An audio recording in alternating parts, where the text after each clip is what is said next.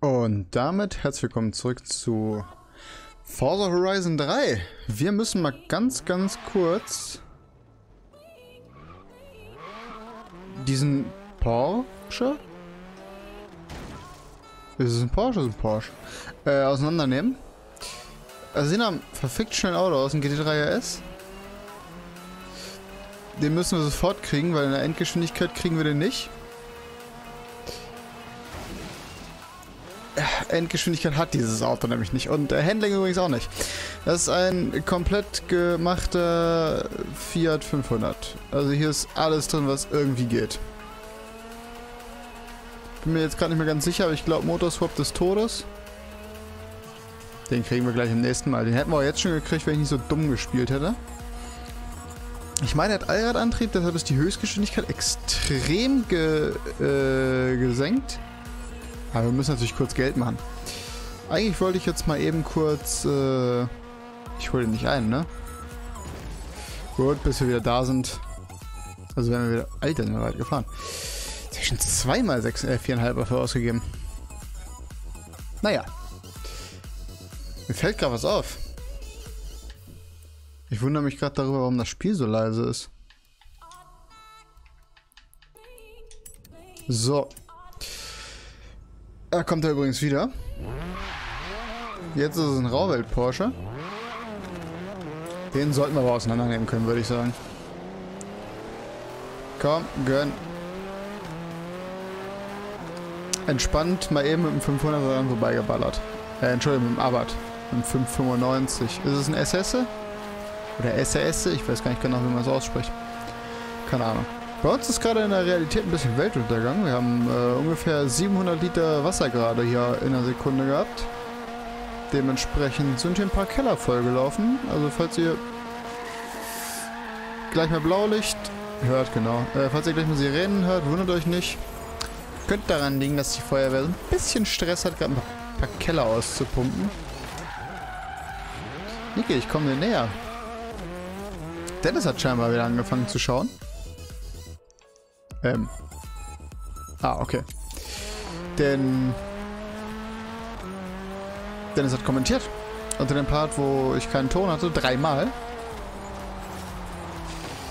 Ich habe auch im letzten Part schon gesagt, übrigens, wir sind in dem Part, wo ich das Auto ja eigentlich gebaut habe und wir gefahren sind, äh, bin ich das erste Rennen ohne Tuning gefahren.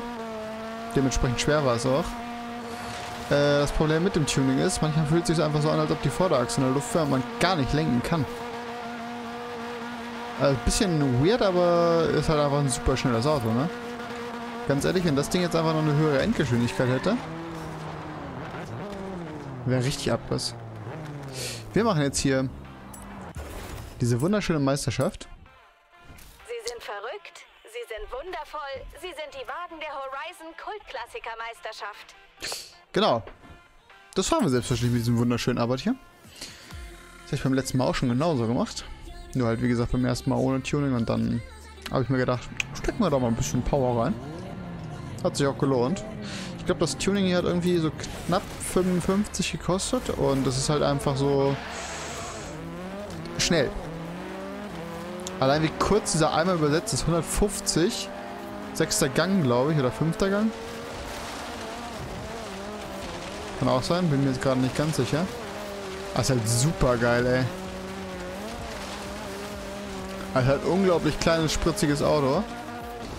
Achsstand ist halt viel zu kurz für so viel Leistung, wenn wir mal ehrlich sind. Weil das Ding ist halt wirklich ein Brummkreis. Also wenn du damit einmal so ein bisschen daneben kommst, dann dreht sich das Ding nur noch im Kreis. Das Ding ist wirklich nervig zu fahren, muss ich zugeben. Ich liebe kleine Autos, ich liebe alte Autos, aber das ist viel zu viel Leistung für den Eimer hier. Der hat jetzt irgendwie so 400 kW, glaube ich. Keine Ahnung, wie viel das in Leistung sind. So knapp 600 PS, hätte ich gesagt. Ah, ist halt super geil, ne? Äh, man hätte das Ding hier auch noch mit einem Motorradmotor bauen können. Steht jetzt nicht explizit dabei, ob es ein Hayabusa-Motor ist. Ich habe auch gar keine Ahnung von Motorradmotoren. Also ich könnte nicht mal sagen, ich glaube ein Hayabusa-Motor ist ein Vierzylinder. Glaube ich. Ich habe überhaupt keine Ahnung von der Scheiße. Aber ja, hätte man auch mit dem Hayabusa-Motor bauen können. Äh, mit dem Motorradmotor. Äh, hat mir aber nicht gefallen. Hier ist jetzt ein... Ich habe überhaupt keine Ahnung, was hier drin ist. Ich glaube ein Vierzylinder. Also auch ein rein Vierzylinder, aber halt kein Motorradmotor. Wir können eventuell gleich mal schauen. Wird nämlich eigentlich mal Zeit für ein anderes äh, äh, Design hier drauf, finde ich. Keine Ahnung, was für eins? Hallo. Denn, äh, ja, man könnte jetzt natürlich was richtig Aggressives drauf machen, weil es ja jetzt auch ein aggressives Auto. Dementsprechend wäre das ja gar nicht mehr so eine schlechte Idee, auf dieses kleine aggressive Auto ein aggressives Design zu machen. Könnte man tun, nicht wahr? Ja, ja. Genau. Meine Güte.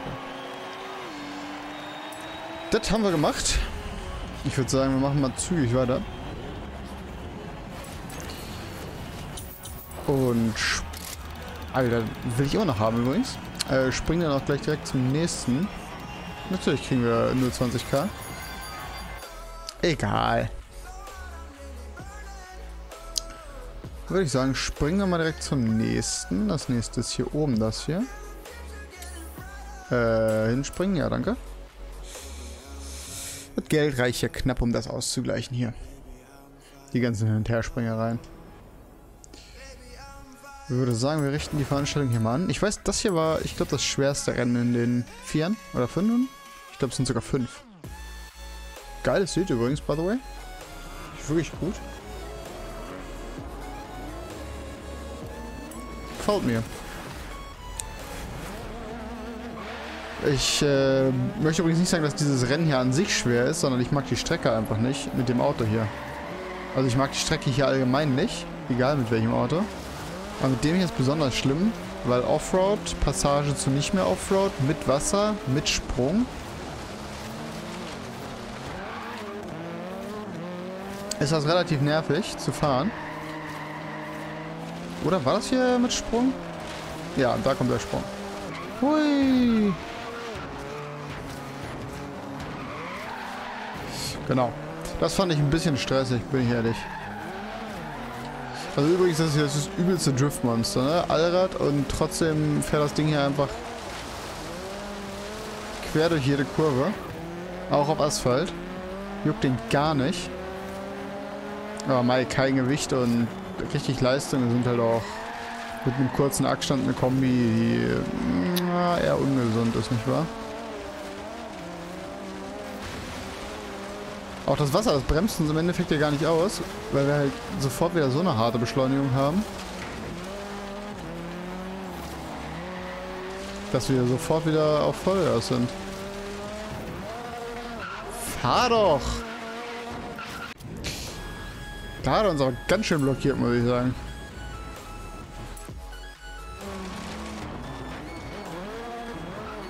Ja, da konnten wir jetzt einmal ein bisschen Gas wegnehmen zum Glück und dann passte das. Kannst du bitte mal hinten bleiben? Alter. Junge, leck mich am Arsch.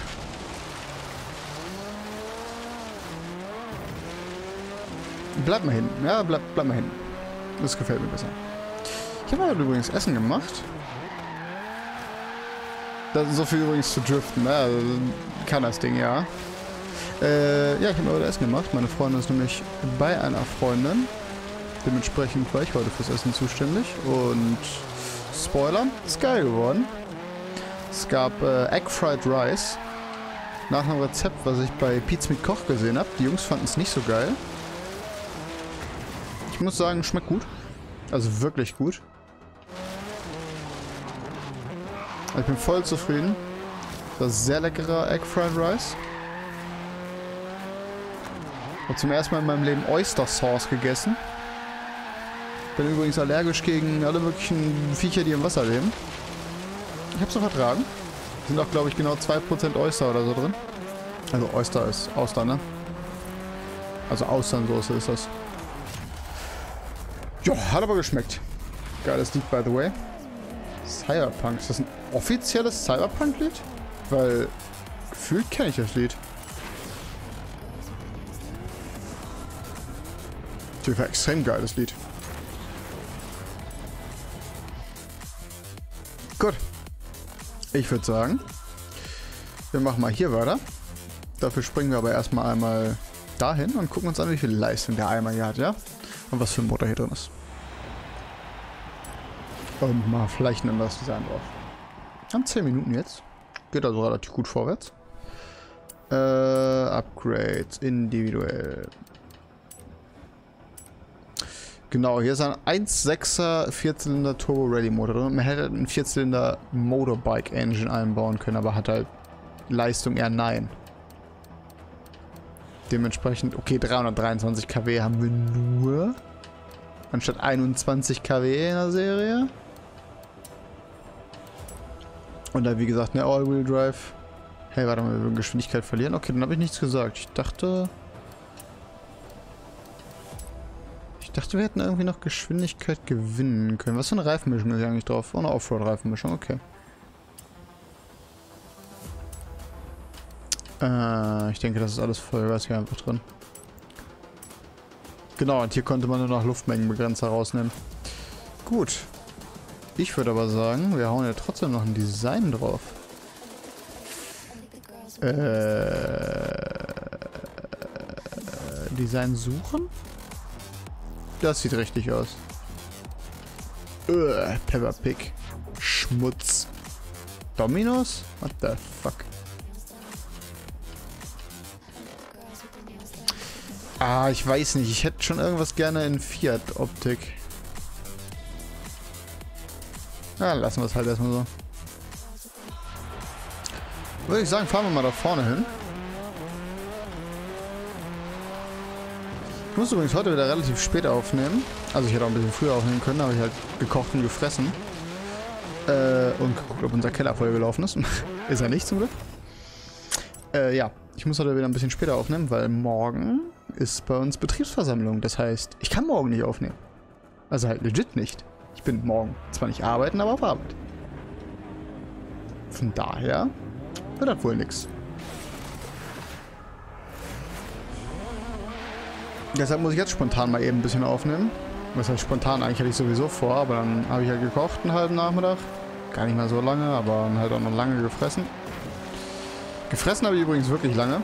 Ich habe zweieinhalb Teller davon gegessen, war richtig lecker. Und ich bin zwar satt, aber ich habe immer noch Bock, mir noch so einen Teller rein zu husten. Dann musste ich kurz warten, bis ich die Katzen füttern konnte, weil wenn die Katzen im Hintergrund Radau machen, also nicht so Radau, wie ihr das schon kennt, sondern halt Radau, Radau. Katzen können noch viel lauter. Okay, wir spulen mal zurück.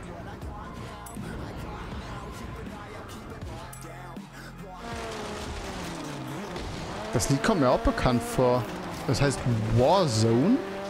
Ihr könnt das ja auch sehen. Ich meine, das Lied kenne ich. Weiß gar nicht. Bei dem Namen denke ich sofort an Dame, aber ich weiß nicht mal, ob der ein Lied mit dem Namen gemacht hat. Also das wird passen, weil Warzone ist Call of Duty, oder? Ich glaube ja. Keine Ahnung. Ähm, ich weiß gar nicht, ob das... Äh, Habe ich das jemals thematisiert, dass ich äh, eigentlich auf die Dame Anniversary Tour wollte und dafür auch Tickets habe. Weil die wurde für 2021 leider abgesagt, aufgrund von Corona. Ist dann auf 22 verlegt worden. Und ja, war ich ein bisschen sad. Finde ich aber die absolut richtige Entscheidung. Ich meine, können nicht alle sich so machen wie beim Fußball oder bei der Formel 1 oder bei MotoGP oder hier x-beliebige andere Sachen anhängen, wo absolut gegen jeglichen Menschenverstand gehandelt wird, um möglichst viel Geld noch rauszuquetschen und darauf geschissen wird, dass wir gerade mit der Delta-Variante kämpfen und jetzt schon die, ich habe vergessen, wie die nächste Variante heißt, äh, kommt. Also absolut hirnlos mal wieder agiert wird. Aber was anderes erwarte ich eigentlich tatsächlich auch nicht. Ist ja gerade Wahlkampf. Dementsprechend wird es auch erst in letzter Sekunde wieder einen Lockdown geben. Und dann werden sich die Parteien gegenseitig in die Schuhe schieben, an wem es gelegen hat. um eine Partei, äh, um den Wahlkampf natürlich nochmal so richtig schön mitzunehmen. Kann man jetzt von halten, was man möchte. Ich bin auch immer noch äh, der festen Überzeugung, also weiter mit Maske rumlaufen hat mir eigentlich nicht wehgetan bis jetzt und ich tue es auch immer noch. Sehe da überhaupt nicht so ein Problem. Aber da will ich hier jetzt gar nicht mal so weit thematisieren, sonst wäre ich einfach nur wütend, weil das ist ein Thema, wo ich wirklich wütend werde. Habe ich jetzt gerade das Design geliked, upsi. Macht nichts. Ich würde sagen, wir machen jetzt nochmal eben das hier. Ich hoffe, es ist kein Rundkurs. Ich muss sagen, ich bin nicht so der Rundkurs-Fan. Also überhaupt nicht. Zumindest nicht mit dem Auto hier. Mit den anderen eigentlich auch eher weniger. Ist, glaube ich, eine, ja, ist ein Grip-Rennen, also ein Distanzrennen, oder? Also ein Sprint quasi. Ne, ist ein Rundkurs, okay. Ah, ich weiß sogar, welches Rennen das hier ist.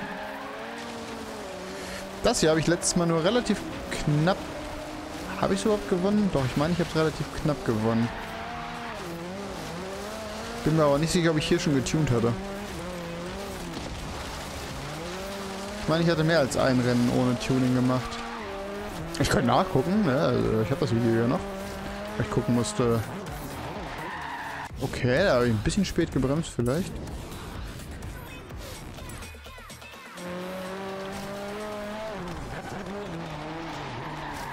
Da wollen wir mal dieses Mal ein bisschen früher bremsen. Das hat auch deutlich besser funktioniert. Meine Güte. Ah, ja, ja, wo war ich eigentlich gerade stehen geblieben? Ich habe über das Rennen erzählt gehabt, ne? Dass ich das letzte Mal nur relativ knapp gewonnen hatte. Ah, wenn dieses Ding aber noch schneller wäre, aber ich glaube, dann wäre es halt auch noch schneller, äh, schlechter im Handling. Dann würdest du einfach mit bei 380 einen Abflug machen. Aber es ist schon sehr kurz übersetztes Getriebe jetzt, ne? Ich meine, das sind jedes Mal so 20 km/h gefühlt. Ne, es sind 30 oder 40 km/h, aber trotzdem. Das hat man ja deutlich länger übersetzen können. Ich bin auch immer noch extrem davon, äh, ich glaube beeindruckt ist das richtige Wort, was die in der C7Z06 für ein Getriebe drin hatten. Ich habe gar keine Ahnung, was für Autos das noch alles drin ist. Ich meine das 7-Gang handgeschaltete, wo du einfach im ersten Gang, ich glaube 120 waren es, gefahren bist oder fahren konntest. Wo ich mir einfach so denke, Alter, im ersten Gang 120 Klamotten. Das ist schon übel. Das ist halt wirklich übel. War ein Kompressor, oder? Ich meine, es ist ein Kompressor, oder? Auf jeden Fall komplett krank, Alter. Ich 120 fahre, fahre ich gemütlich im sechsten. Also klar, ich könnte auch im tippe mal drauf, mein Auto würde im dritten 120 fahren. Aber es hat auch ein Diesel mit einem, naja, zugegeben für den Diesel ein relativ kurz übersetztes Getriebe, aber immer noch ein Dieselgetriebe. Also schon relativ lang übersetzt. Meine Güte. Ah, nice. Erstmal schön ein Spinnen. Das Auto möchte ich übrigens nicht haben. Deshalb kriege ich 30k. Okay, perfekt. Ich hätte jetzt gedacht, deshalb kriege ich es erstmal, aber... Nee. Äh, ab. Jetzt will ich nicht zu viel versprechen. Dieses Video kommt Samstag. Ab morgen kommt eventuell auch mal wieder. Äh, oder was heißt mal wieder? Es ist jetzt nur einen Tag, glaube ich, ausgefallen. Oder zwei. Ähm. Wie heißt die Gerät? Witcher. Aber ich weiß gar nicht, ist ausgefallen oder habe ich noch genug gehabt? Uh, weiß ich jetzt gar nicht so ganz genau. Also wenn was ausgefallen ist, kommt ab Sonntag, sollte wieder eventuell was kommen. Eventuell sage ich sehr bewusst, weil kann halt immer was dazwischen kommen bei mir.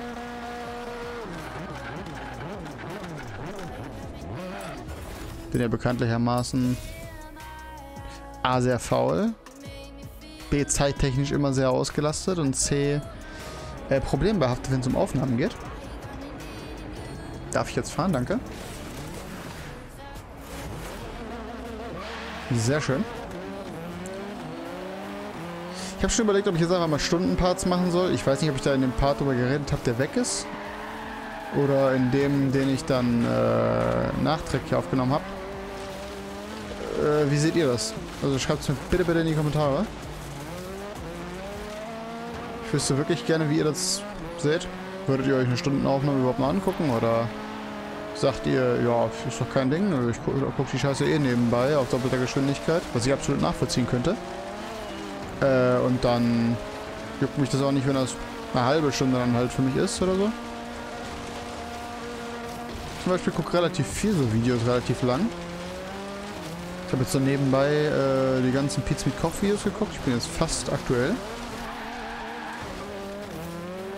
Und äh, gucke halt sehr gerne noch die Henno-Videos. Die gucke ich sogar auf einfacher Geschwindigkeit meistens. Hallo Freddy. Tschüss Freddy. Also die Dark Souls Henno-Videos. Die sind nämlich extrem geil. Kann ich nur empfehlen. Ähm, ja, und auch ansonsten gucke ich ganz gerne die Zombie Stream-Aufzeichnungen und so. Ist ja alles immer relativ lange Videos. Was heißt relativ lange? Die aktuelle Stream-Aufzeichnung ist sechs Stunden lang oder sieben? Die ich gerade gucke. Also ist schon sehr, sehr lang, ne? Ah, da konnte ich gar nicht lenken.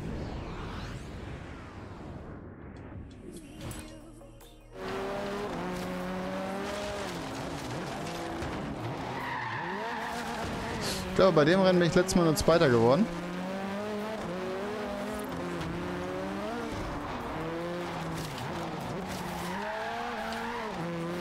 Ah, das Ding hat Qualm im Socken und wir fahren richtig breite Reifen, ne? Möchte ich mal anmerken. Nicht, dass es heißt, ja, du fährst ja auch nur so Trennscheibchen, also... Fisch guckt, wo du hinfährst. Ja, okay. Äh, das habe ich erwartet. Das sind ja hier schon richtig dicke... Äh, Walzen, würde man sagen, in anderen Gebieten. Meine Güte, Freddy, fahr doch nicht so ordentlich.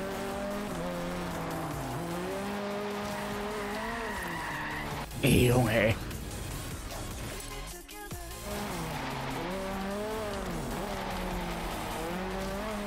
Also selbst wenn wir hier wieder nur Zweiter werden, ist es komplett egal. Wir haben... Ja, Freddy kann ja einfach relativ gut durch mit seinem Radstand. Ne, wenn du einen langen Radstand hast, brauchst du halt nicht so viel bremsen. Ah! Hast halt deutlich sicheres, sichereres Fahrfeeling. Aber hey, entspannt Erster geworden, würde ich sagen. Und ich würde sagen, dich, das reicht auch erstmal für diesen Part. Beim nächsten Mal machen wir weiter mit der Veranstaltung. Das sind wir die Meisterschaften. Da machen wir dann... Ähm, also ich habe übrigens den gesamten Bereich hier fertig gemacht mit äh, Straßenerkunde. Den und bis hier. Also ungefähr bis... Bis hier so habe ich fertig gemacht. Ich würde sagen, beim nächsten Mal machen wir hier irgendwo äh, eine Meisterschaft. Wieder, wieder. Bis dahin, haut da rein und tschüss.